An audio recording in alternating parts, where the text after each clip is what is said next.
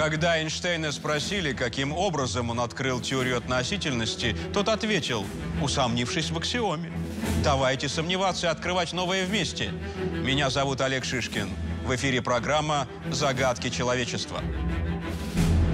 Сегодня в программе Наша броня против атомных бомб НАТО. В военных лабораториях США изучают советские танки. Что они ищут и как наши танковые войска смогут противостоять ядерному удару. Соответственно, должна быть броня сама. Не расплавится, не склеится. А вы представляете, какой там уровень температуры? Страшные и знаменитые. Люди, прославившиеся благодаря своей странной внешности. Чем занимается самая некрасивая женщина планеты? Кто такие Человек-кот, Человек-ящерица, Человек-бык? И зачем они с собой это сделали? Те люди, которые пытаются изменить свою внешность, э, ведущие к росту, для того, чтобы пользоваться повышенным э, вниманием со стороны общества, имеют серьезные психологические отклонения. Свадьбы мертвецов. В Китае родственники умерших выставляют охрану у свежих могил. Кому понадобились мертвые тела и зачем?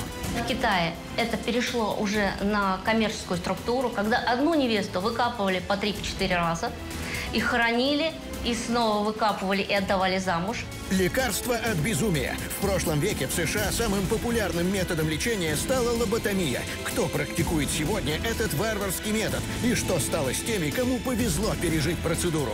А лоботомией могли лечить э, всех кого угодно, начиная от детей и заканчивая стариками. А, гомосексуалистов, лесбиянок и всех остальных прочих. Лунная походка. Ученые считают лунатиков опасными, но чем они угрожают окружающим? На что они способны во сне? Если вы дадите мне карандаш и бумагу днем, я не смогу это повторить в состоянии бодрствования. То есть, по сути, все, что я делаю, остается в моем подсознании. Почему? Я пока не нашел ответа. В эфире «Загадки человечества». Смотрите прямо сейчас. Соединенные Штаты закупили на Украине партию советских танков Т-55 и Т-64. Вместе с боевыми машинами в руки американских военных попал совершенно секретный советский комплекс активной защиты «Дрозд». Эту систему серийно устанавливали на танки Т-55, проходившие модернизацию в 80-х годах. Даже спустя годы дрозд остается актуальной и во многом все еще передовой технологией. По словам экспертов, в американских военных лабораториях советские танки разобрали буквально по винтикам, порезали даже броневые листы. Что ищут инженеры США в советской технике и зачем Пентагону устаревшие танки времен СССР?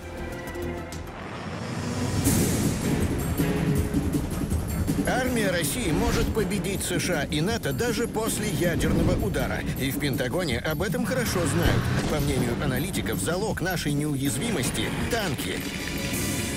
Именно усовершенствованные модели наших танков, а, значит, отражающие самые последние по тому времени достижения науки и техники, во многом спасли а, Советский Союз, да и мир вообще в целом от а, войны, от ядерной войны конце 50-х годов прошлого века в НИИ «Стали» создали специальное подразделение, разрабатывавшее противорадиационную защиту для танков. Ученые вводили в состав брони порошки бора, свинца, вольфрама и другие компоненты, защищающие машину от радиации. После этого танки подвергали различным облучениям. Несколько машин даже пригнали на полигон под Семипалатинском и поставили под самые настоящие ядерные удары. Всего сотрудники НИИ «Стали» провели 32 испытания с ядерными боеприпасами малого малого и среднего калибра. Ставилась задача, что советский танк должен выдержать ядерный удар, находясь примерно в 700 метрах от, э, скажем так, от э, эпицентра взрыва. А, и этот взрыв должен быть где-то примерно 30 килотонн.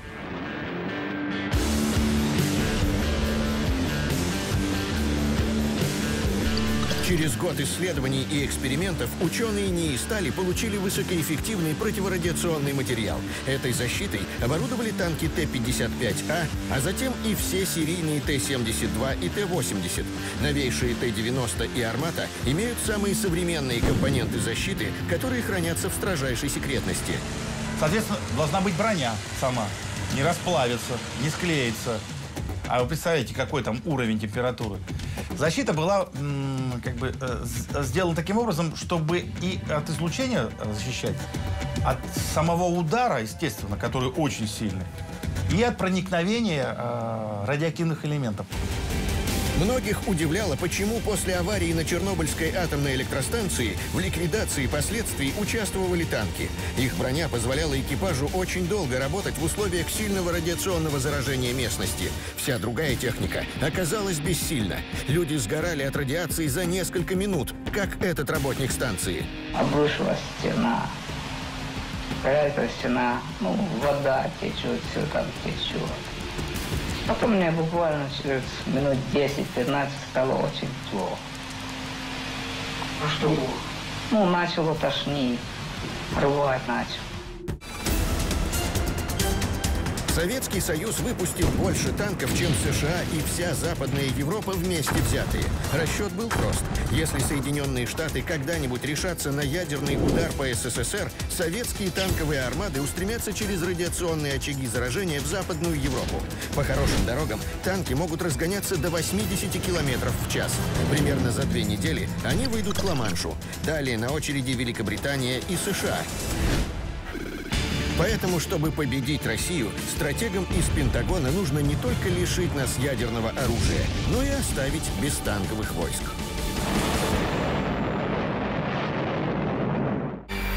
Музыкальный журнал Billboard опубликовал список самых некрасивых исполнителей всех времен. По итогам голосования первые места заняли Мэрилин Мэнсон и звезда эпатажа Леди Гага. В рейтинг самых страшных знаменитостей также попали Оззи Осборн, Элис Купер и легендарная группа Kiss. Страшные и знаменитые. В это сложно поверить, но есть люди, специально уродующие себя ради славы. И что самое удивительное, им действительно удается привлечь к себе внимание. Что думает о красоте Лизи Веласкес, официально признанная самой страшной женщиной планеты? Чем питается женщина-вампир Мария Хосе Кристина? Кто такие человек-ящерица и человек-кот? И зачем они с собой это сделали? Друзья мои, я ждала этого дня долгое, очень долгое время. Лизи Веласкес официально признана самой страшной женщиной планеты. При росте 162 сантиметра ее вес всего 29 килограммов. При этом потребляет Лизи около 5000 килокалорий в день. Две нормы для взрослого мужчины. Виной всему редкое генетическое заболевание – синдром Видемана-Раутенштрауха. Таких, как она, в мире только двое. Но в отличие от Веласкес, второй заболевший не сумел заработать на своей особенной внешности миллионы долларов. У моего синдрома есть преимущества. Например, то, что я не полнею, что я такая хрупкая, и даже то, что я некрасива внешне. Лизи Веласкес – знаменитый блогер и тренер личностного роста. Она путешествует со своими лекциями по всему миру. Выступает на лучших площадках планеты. Кроме того, к 28 годам женщина издала 6 книг, ставших настоящими бестселлерами и принесших ей немалый доход. Возможно, она права, и даже в физических недостатках можно найти свои преимущества. Мое понимание красоты другое. Я не думаю, что это именно внешность. Я вообще не считаю, что ее можно увидеть глазами. Поэтому, если я самая уродливая женщина планеты, то скажи, где этот стандарт начинается? Если таким людям, как Лизи, приходится мириться со своими особенностями, то есть те, кто готов превратить свою обычную внешность в ужасную. Вот только зачем они это делают? А уродство, оно как-то завораживает. То есть если что-то необычное мы встречаем в своей жизни, связанное там с человеком, с его лицом, с его действиями, конечно же, это привлечет наше внимание. Это то, что удовлетворяет наше любопытство.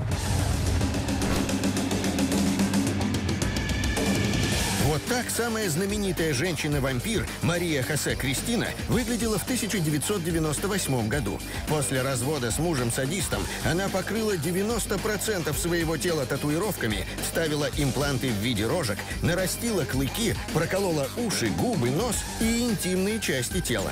По ее словам, этот устрашающий образ должен показать всем, что она может за себя постоять.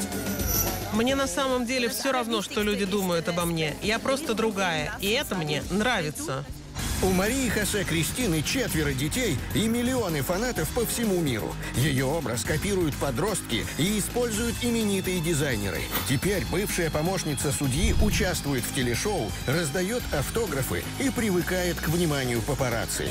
Вы знаете, с моей точки зрения, те люди, которые пытаются изменить свою внешность, э, ведущие к росту, для того, чтобы пользоваться повышенным э, вниманием со стороны общества, имеют серьезные психологические отклонения. Знакомьтесь, Генри Деймон. Этот венесуэлец не пожалел несколько лет жизни и более 50 тысяч долларов, чтобы осуществить мечту детства – стать похожим на злодея из комикса. У меня два рекорда в книге Гиннесса. Я единственный человек на планете, который перенес в реальную жизнь любимого героя из комиксов. Вот он, герой мечты Генри Деймона, суперзлодей Красный Череп. А это Генри Деймон. До того, как отрезал нос, сделал татуаж лица, глазных яблок и установил импланты. Это было обдуманное решение. Мне было 18-19 лет.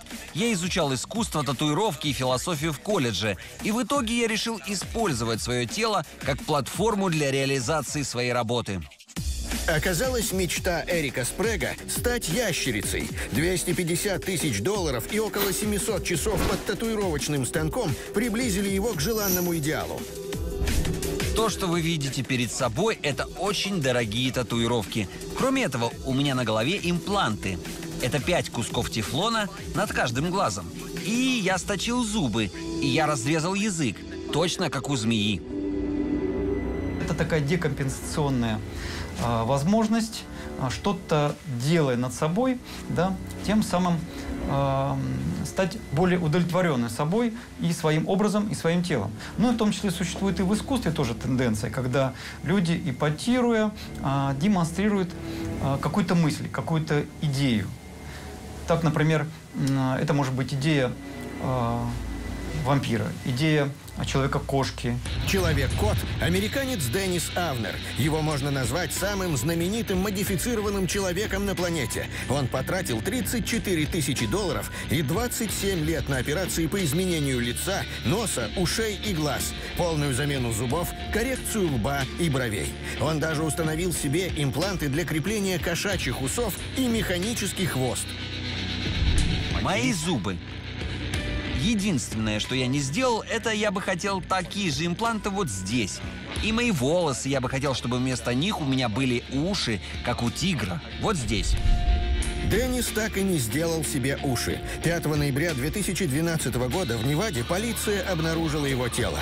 Человек-кот покончил с собой. Но почему после 27 лет операций, наконец-то достигнув желаемого эффекта, он захотел умереть? Он пользовался повышенным спросом, участвовал в многих шоу, телевизионных программах. Но когда интерес общества к нему угас, э, он понял, что им больше никто не интересуется, он уже приелся, он ушел из жизни. Сегодня самый востребованный модифицированный герой – так называемый зомби-бой Рик Дженнест. Он снимается в музыкальных клипах, рекламе, работает моделью, ведет личный блог и даже стал прототипом детских кукол. За свое превращение в разлагающийся труп Дженнест отдал 1 миллион 700 тысяч долларов. Но что он будет делать, когда зомби выйдут из моды?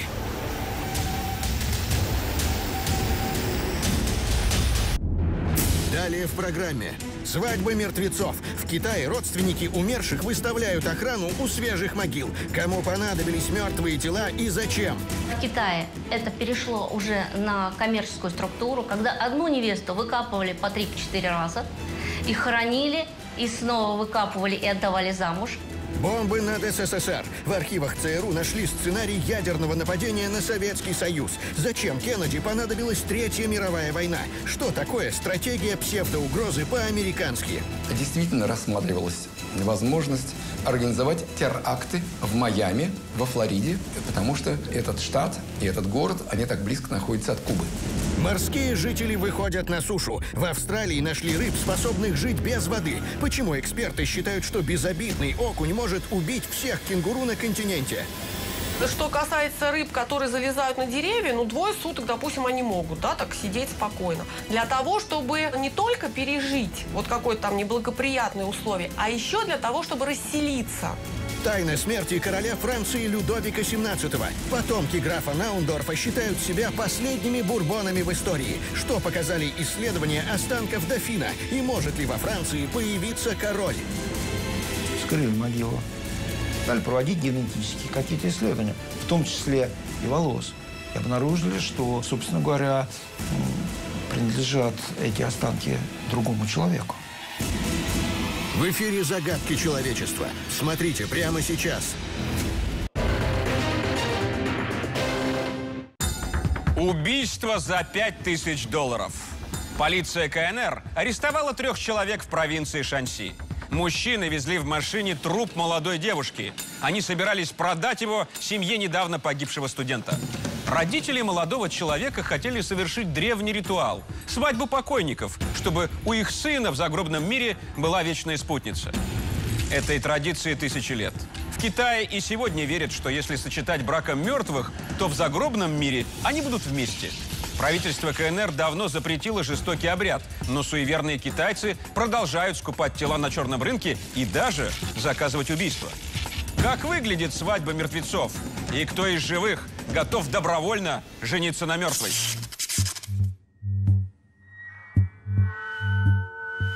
Десятки дорогих автомобилей, сотни гостей и жених в белоснежном костюме. Для 26-летнего Джана Хуагвея это лучший день в его жизни. Вот только вместо невесты урна с прахом.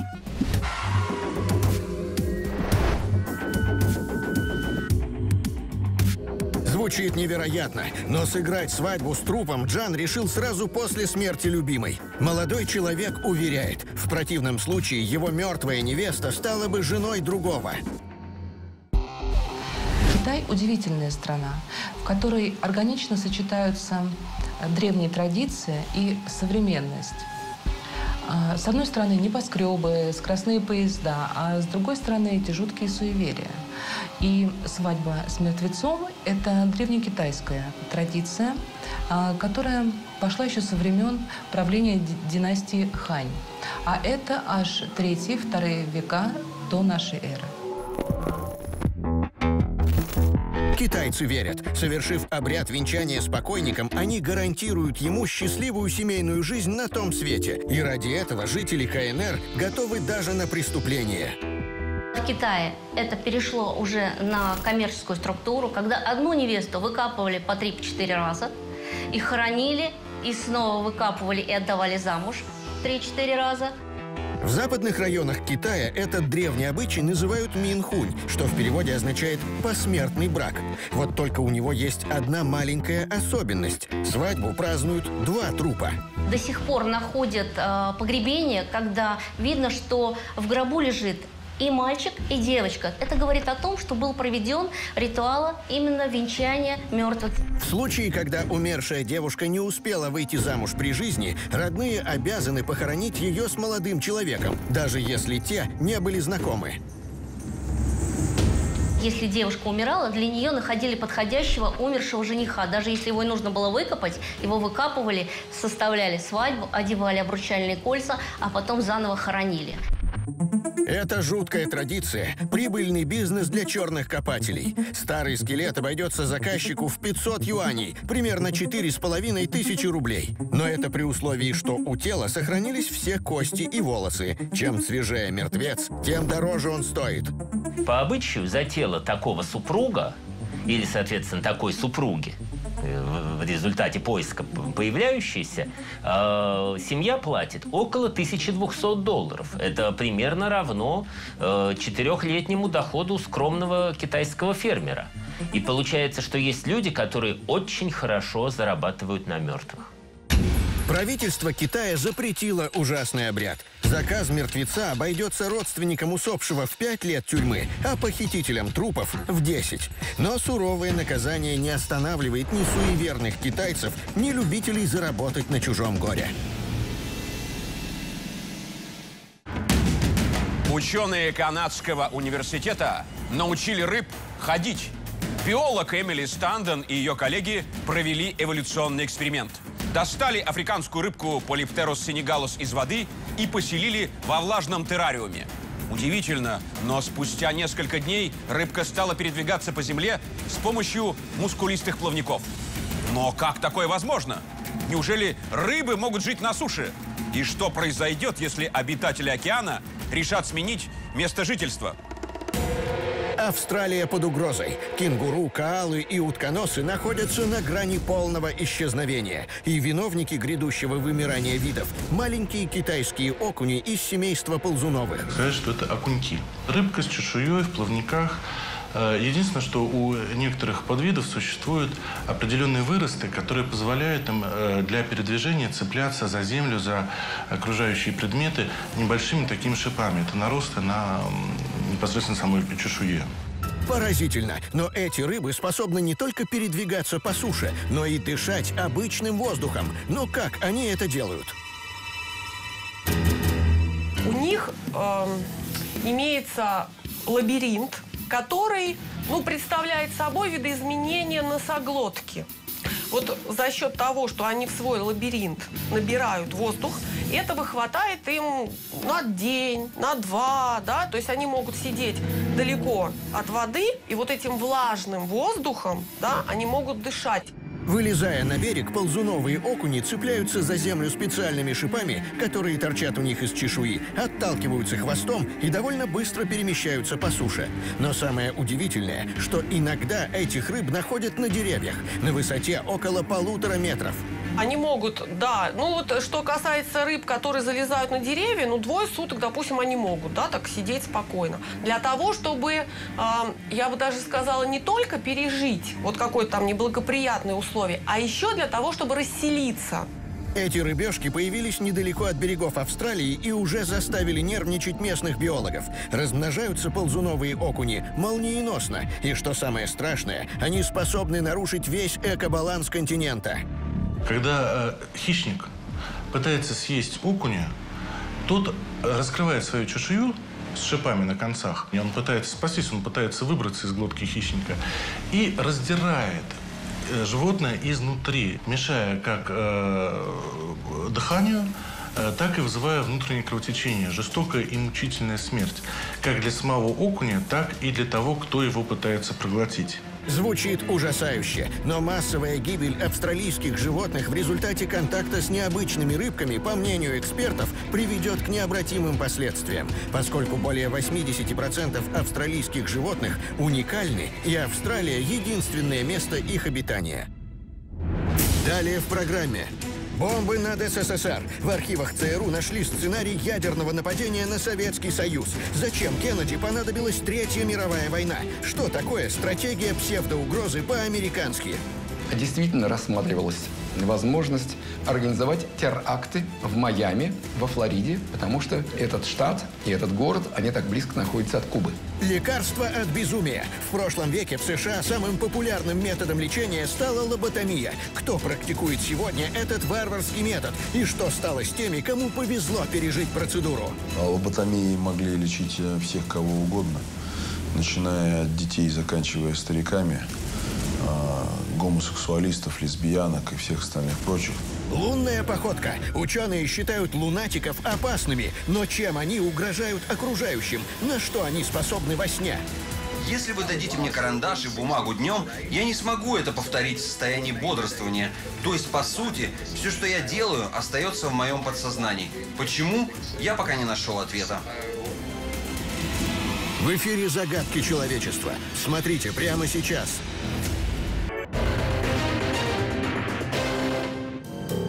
Холодная война могла стать ядерной. К такому выводу пришли отечественные исследователи после изучения архивов ЦРУ.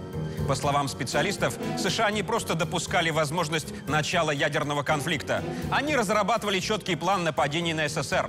В архивах сохранились сотни страниц, где, по сути, описан детальный сценарий Пентагона, как спровоцировать конфликт и сбросить на СССР ядерную бомбу. Но зачем Штатам понадобилось развязывать смертоносную войну? И что это за так называемая американская стратегия псевдоугрозы?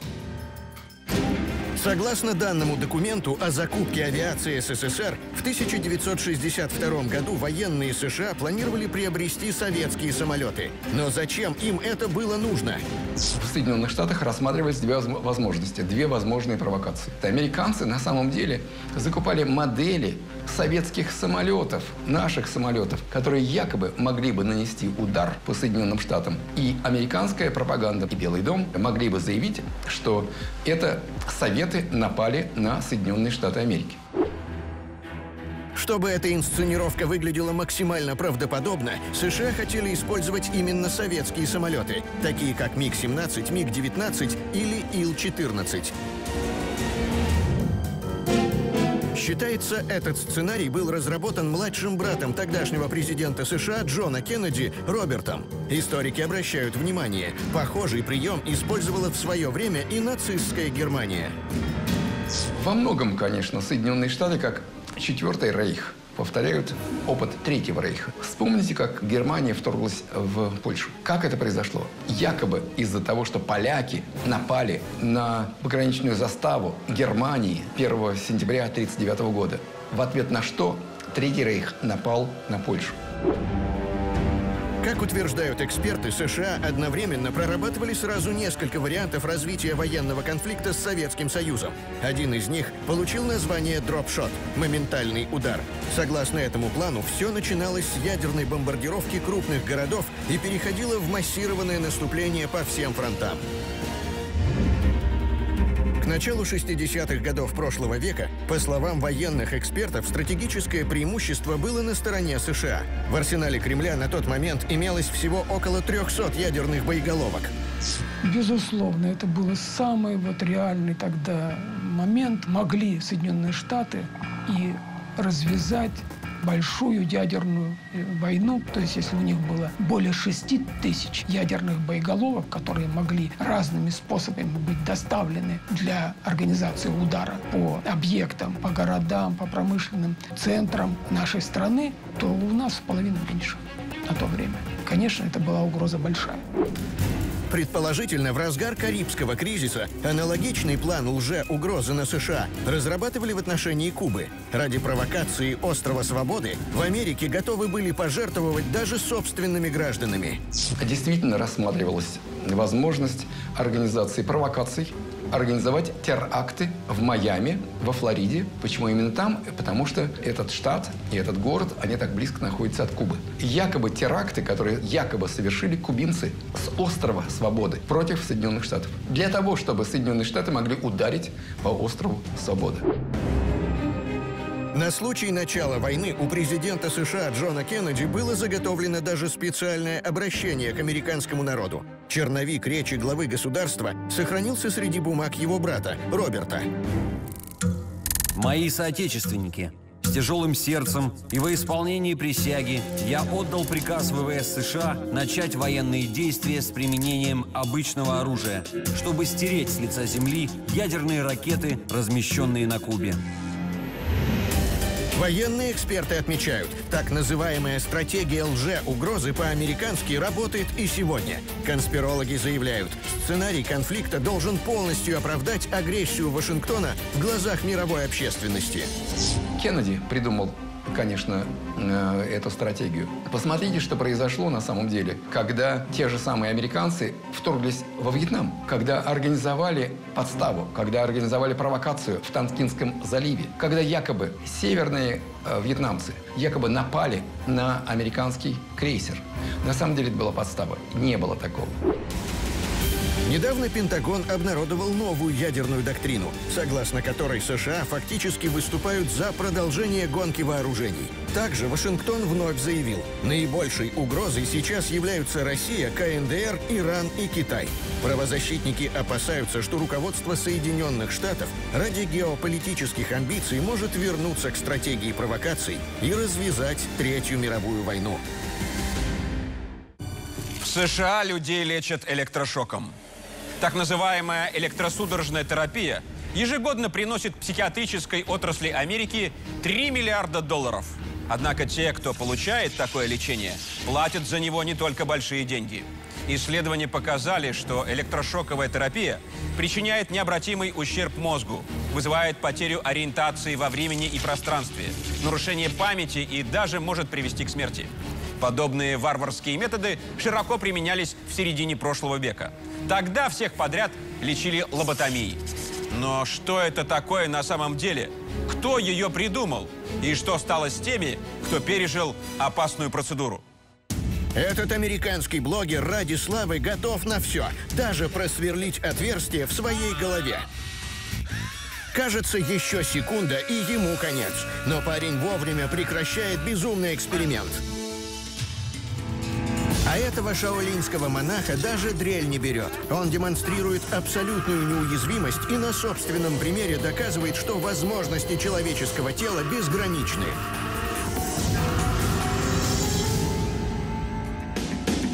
Сейчас подобные опасные эксперименты люди совершают по своей воле и лишь с одной целью – прославиться и заработать. Однако еще 60 лет назад врачи специально просверливали отверстия в черепах своих пациентов, намеренно повреждая при этом лобные доли мозга. В начале прошлого века врачи сами верили – лоботомия – это лекарство от многих болезней. Основном было применение, вообще показания для применения лоботомии э, было для э, называемых буйных э, пациентов, агрессивных, с такими стойкими бредовыми нарушениями, галлюцинациями, не поддающиеся контролю. В 1935 году португальский психиатр Эгош Маниш услышал о необычном эксперименте. Шимпанзе удалили лобные доли мозга, после чего животное стало спокойным и послушным. Манишу пришла в голову мысль, что таким образом можно поступать и с людьми, а именно с буйными душевнобольными. Но кто решал, насколько человек опасен? Уже в 1936-м Маниш прооперировал 100 пациентов с психическими расстройствами. Он проделывал в черепах больных отверстия, вводил в мозг петлю и надрезал белое вещество лобных долей. Доктор считал, что после лоботомии его пациенты выздоравливают, становятся спокойными и умиротворенными. И действительно, вот эти пациенты становились спокойными, покладистыми. Но это только вот такая э, на, наружная сторона э, монеты. Э, и это экономило, да, действительно, средства, не надо было уже за ними так активно ухаживать, какие-то им удобства э, делать. В 1949 году за свое открытие Эго Шманиш получил Нобелевскую премию. Лучшей рекламы и представить нельзя. Операции начали проводить по всему миру. Но ни в одной стране лоботомия не приобрела такой популярности, как в Соединенных Штатах Америки. Но в Советском Союзе она, к счастью, была запрещена практически с момента ее создания э, в 1936 году. В 1940 она уже была запрещена. Э, операции по ней не проводились. А вот э, в Соединенных Штатах Америки было проведено около 18 тысяч таких операций с 1936 по 1951 год. Американский психиатр Джей Фримен, как ему казалось, усовершенствовал методику. Для проведения операции он использовал инструмент, напоминающий нож для колки льда. Острый конец вводили в мозг через кость глазной впадины, которую для этого ломали специальным хирургическим молотком.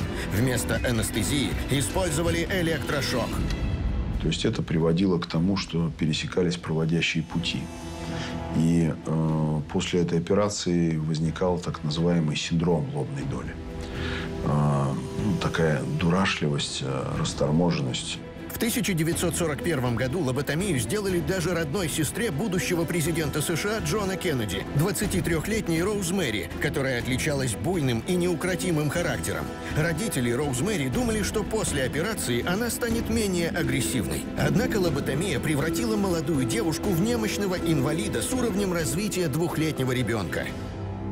Получали э, по овощного немножко с детской психикой человека – но при этом этот человек продолжал узнавать своих э, родных, близких, э, не мешал им э, своими истериками, криками, агрессией и всем остальным прочим. В США проводили в среднем 5000 операций в год. Кроме того, по стране курсировал так называемый лоботомобиль, еще одно изобретение Фримена. В таком фургончике американский психиатр лично провел 3500 операций. Разумеется, не бесплатно. По мнению психиатров, этот кровавый бизнес принес несколько миллионов долларов. А лоботомией могли лечить э, всех кого угодно, начиная от детей, заканчивая стариками, э, гомосексуалистов, лесбиянок и всех остальных прочих. То есть все, что выпадало за определенные нормы приличия, э, в какой-то момент времени распространенные еще на тот момент э, в консервативном американском обществе. В Америке нет бесплатной медицины. После лоботомии человек превращался в инвалида, а больницы таким образом обретали вечного должника. Многие родственники пациентов, перенесших лоботомию, впоследствии были разорены счетами из клиник. В середине 50-х годов 20 века лоботомию законодательно запретили в большинстве стран мира. Однако в США по-прежнему разрешена частичная фронтальная лоботомия. Сейчас ее делают только самым тяжелым больным. За последние 10 лет такой операции подверглись более 500 пациентов с серьезными психическими расстройствами. Американские доктора утверждают, вылечить этих больных более гуманными способами невозможно. Далее в программе. Лунная походка. Ученые считают лунатиков опасными, но чем они угрожают окружающим? На что они способны во сне? Если вы дадите мне карандаш и бумагу днем, я не смогу это повторить в состоянии бодрствования. То есть, по сути, все, что я делаю, остается в моем подсознании. Почему? Я пока не нашел ответа. Тайна смерти короля Франции Людовика XVII. Потомки графа Наундорфа считают себя последними бурбонами в истории, что показали исследования останков дофина. И может ли во Франции появиться король? Вскрыли могилу. Стали проводить генетические какие-то исследования, в том числе и волос. И обнаружили, что, собственно говоря, принадлежат эти останки другому человеку. В эфире «Загадки человечества». Смотрите прямо сейчас. Швейцарские психологи нашли различия между обычными людьми и лунатиками. Оказывается, во время бодрствования движения людей с этим нервным расстройством более уверены и требуют от них меньше сосредоточенности и контроля. По мнению исследователей, открытие поможет упростить диагностирование болезни. Согласно статистике, сегодня в мире каждый 50-й человек – лунатик. Чаще всего этим недугом страдают дети и подростки, но иногда заболевание может неожиданно проявиться и у взрослого человека. Таких пациентов медики считают особенно опасными. Но чем лунатики угрожают обычным людям? И как им удается преодолевать любые преграды с закрытыми глазами? Муж американки Линды Хоули – агрессивный лунатик. С приходом ночи из любящего супруга он превращается в дебошира.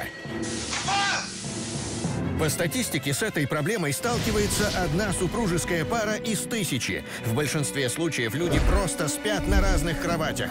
Но недавно приступ лунатизма закончился убийством. Пенсионер Брайан Томас задушил жену во сне.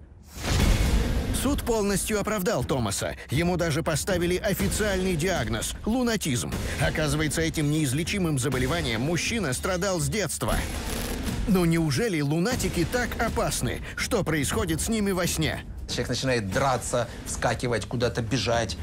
Это тоже э, известный двигательный феномен. Тело перестает быть парализованным и начинает действовать в соответствии с фабулой сна. Но человек не воспринимает окружающую действительность, он ровно в соответствии с тем, что происходит во сне, он и работает, ну или двигается.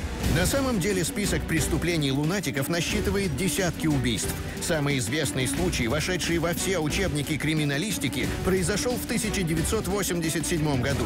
Канадец Кенном Паркс во сне проехал 23 километра до дома родителей жены и убил их. Но, по словам адвоката, когда Паркса разбудили соседи, он ничего не помнил. Он не понимал, что случилось, почему это случилось, и самое главное, кто это сделал. По мнению врачей, особенно опасны пациенты, чья болезнь проявляется уже во взрослом возрасте. Чаще всего она сопровождается агрессией. Кроме того, лунатизм может оказаться предвестником других серьезных заболеваний.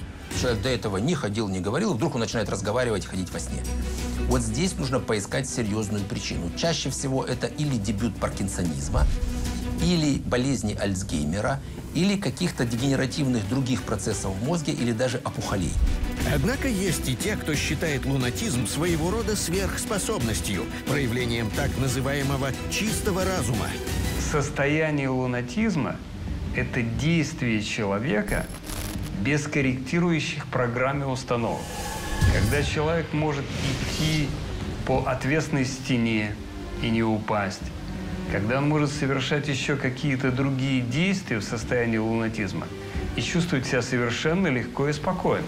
Поведением лунатиков управляет лимбическая система. Считается, что это самое древнее формирование в головном мозге, отвечающее за выживание. Поэтому, несмотря на состояние сна, лунатики с легкостью обходят препятствия и даже в случае опасности выбирают самый правильный сценарий действий. Также работает инстинкт самосохранения у животных.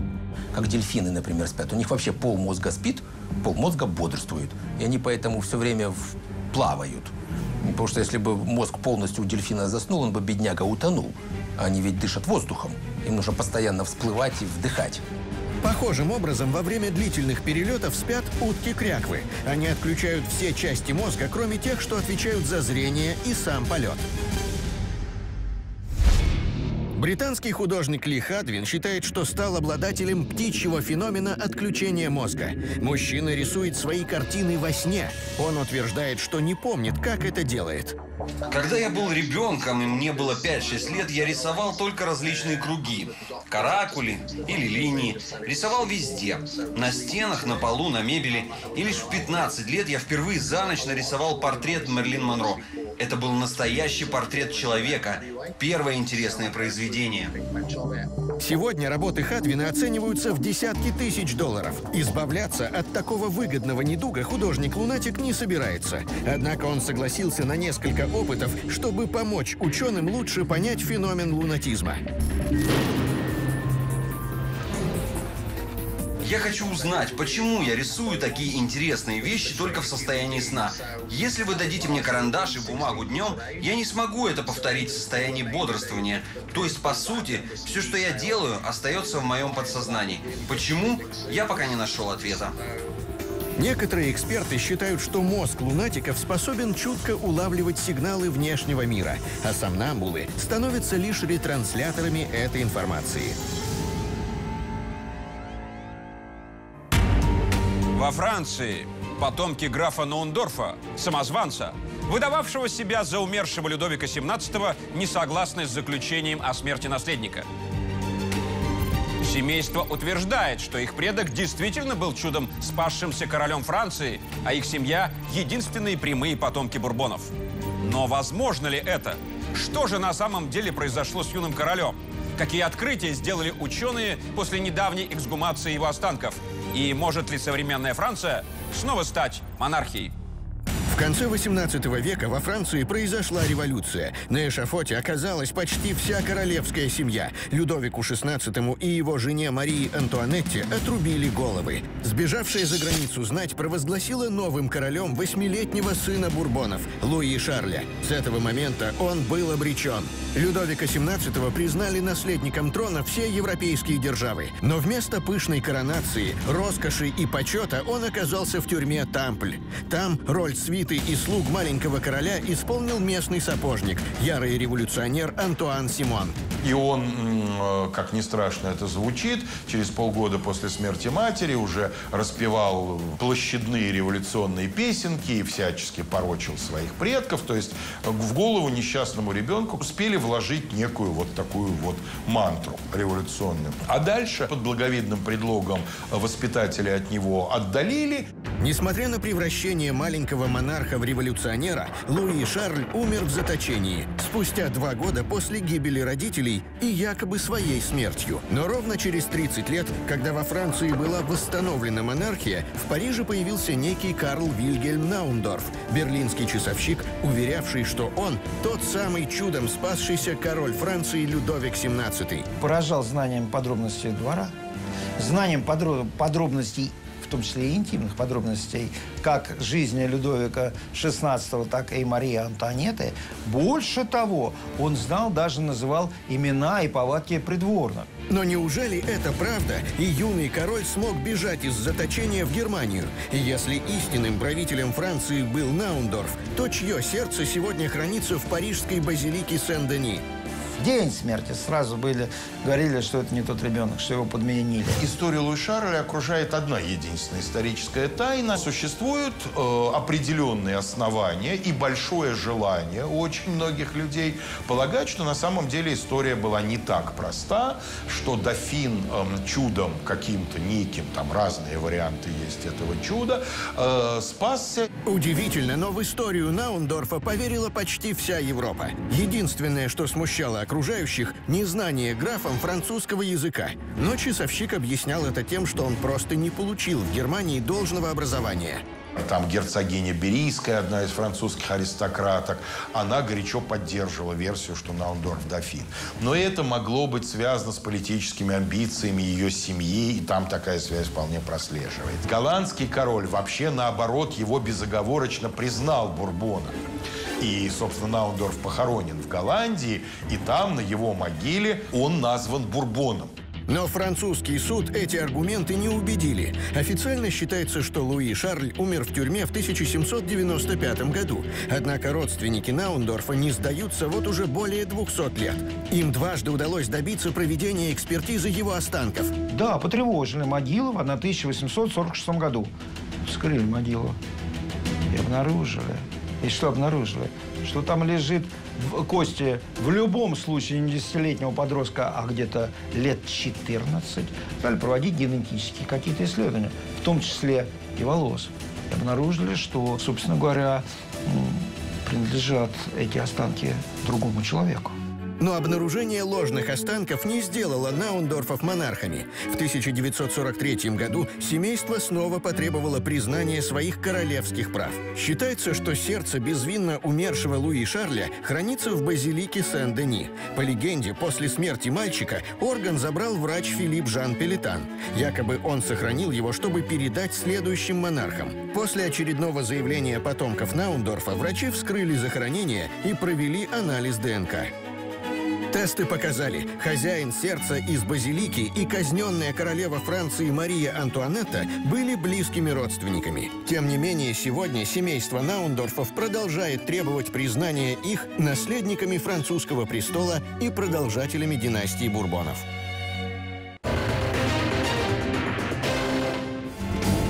Выдающийся французский математик Блес Паскаль говорил, «Я только с теми, кто ищет истину». С вами был Олег Шишкин, и вы смотрели программу «Загадки человечества». Давайте искать истину вместе.